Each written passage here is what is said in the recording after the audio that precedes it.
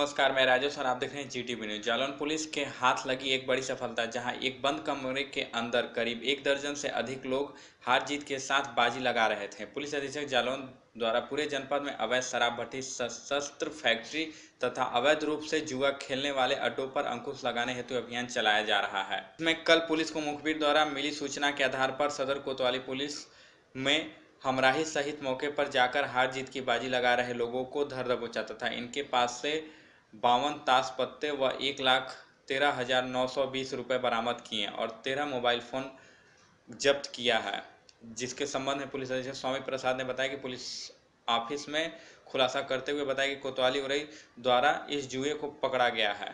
Inspector कोतवाली उरई ज़िले में कोई नहीं है और श्री शिव नारायण द्वारा जो है इस जुए को पकड़ा गया है। ये पिछले संज्ञान में आया कि कई दिनों से जुआ खेला जा रहा था। सूचना प्राप्त हो रही थी, जिस पर जाल बिछा करके इस जुए को पकड़ा गया। इस जुए में एक लाख, और कितना? एक लाख, तेरह लाख, एक लाख तेरह हज़ार रुपये बरामद हुआ है।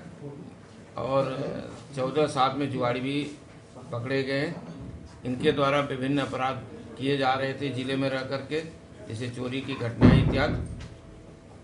सर ऐसे और भी कई सारे जुए के अड्डे चल रहे हैं उसको लेकर पुलिस की तरफ़ से क्या और सघन चेकिंग अभियान पुलिस की तरफ़ से हर संभव प्रयास कर सभी जुओं को जुआड़ियों को पकड़ने का प्रयास किया जा रहा है। पीछे भी कई जुआड़ियों को पकड़ा गया है और भविष्य में भी इनके विरुद्ध कड़ी कार्रवाई की जाएगी।